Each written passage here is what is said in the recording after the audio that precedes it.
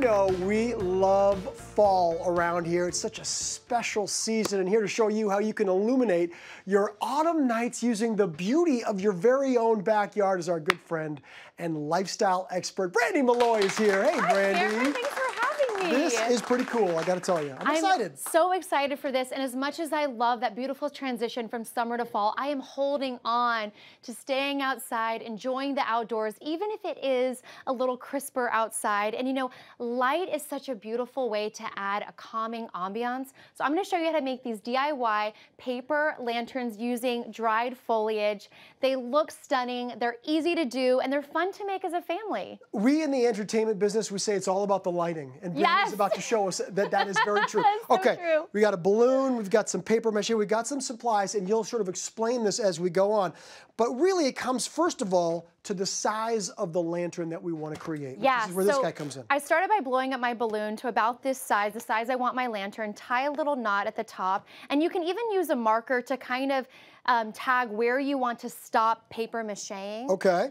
But you're just going to add a little bit of glue to your brush Mm-hmm. and brush on a thin amount and then add your paper mache. And this is just transparent, clear squares, and you'll just kind of layer them over and over again leaving enough room at the top because this is where we're going to actually add our candle later. So it does need to be big enough to get your hand in there and to add Oh, that that's a good tip, so that you don't make it so. Uh, now, if you did make it uh, so that the opening is too small, could you cut it open a little bit more? Totally. You could trim it at the end once it's nice and dry. And this is what I mean. It might get a little messy with the kiddos, but this is really fun to kind of layer on those uh, pieces of paper. What do you mean fun with the kiddos? Like I'm having a great time with you. What are you talking about? Okay, so we keep going until we, like you say, kind of uh, fill it all in up until that area, and we've got a finished guy here, or at least uh, dried. Yes, well, let it dry overnight, and this is what you're looking for. So just a couple layers of the sheer square. So next we're gonna add our dry flowers or leaves. Now, I promised everybody we could go into the backyard and we could find our fun back Yes. there.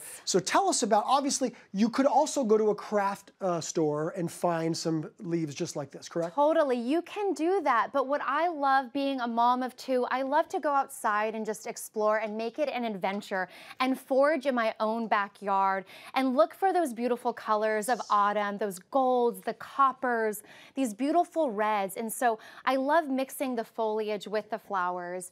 And so all I'm doing is using that same brush and glue to Okay. brush on a little bit of glue onto my paper mache, then adding a layer at the top. Okay, good. So you actually do. So what we're doing is we're putting glue on the paper mache, and then we put the uh, the leaves, and then we put a little bit of glue on top. It's been a while since I did a whole lot of paper mache, everybody. So you gotta, you know. This is so remind me. fun. And you know, if Good. you are looking for leaves in your backyard and using them like that, you are gonna wanna press them. And the best way to do that is just to get the leaves that you found, press them between heavy magazines or heavy books, just to dry them out a bit and make them easier to kind of curve around this lantern. Okay, that's a good uh, tip as well. And you know, As- I know we're uh, we're making this lantern Yeah. for fall, Cameron, but these flowers are inspiring me. I mean, this would be such a fun DIY to do in the springtime and to make a lantern for indoors too. I hope uh, you guys didn't just see I just ripped a leaf right in half on this, so my bad. You can't even tell. And you know what's great about this is you can just cover it with another leaf there you go. Or you can just put it back together. or cover it with a flower. I'm just gonna glue it back together. It's beautiful.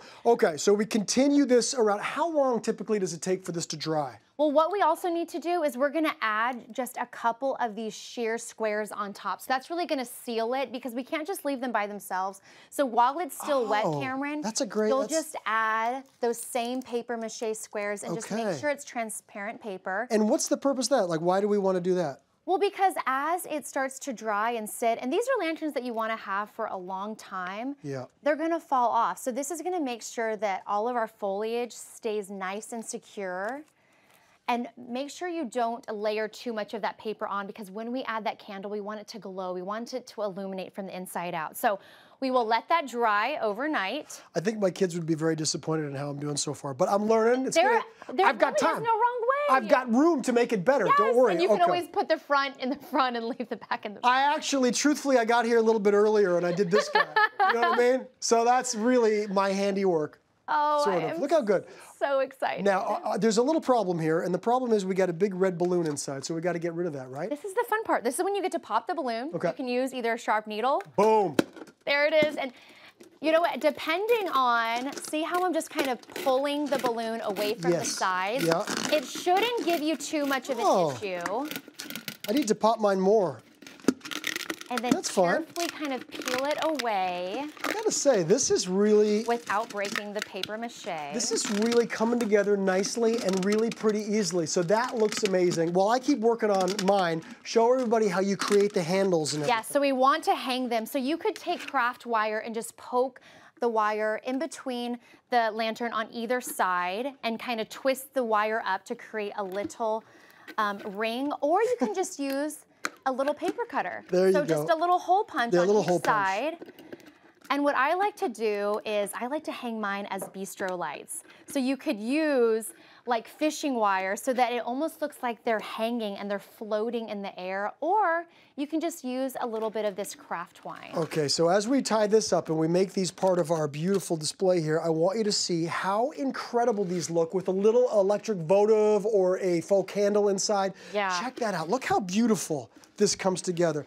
Those look totally store-bought. I gotta tell you the truth. They look like something you would see in a boutique, so beautiful and just, I love the way it glows. It can really just change the entire mood and energy outside.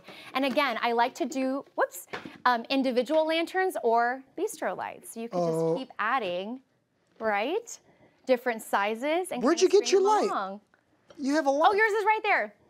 Oh, this So is you can use the little press light. Here we go. These are great. They're just bat battery operated. Wait for it, I got this. Everybody, go to hallmarkchannel.com for all the great details of how to make this.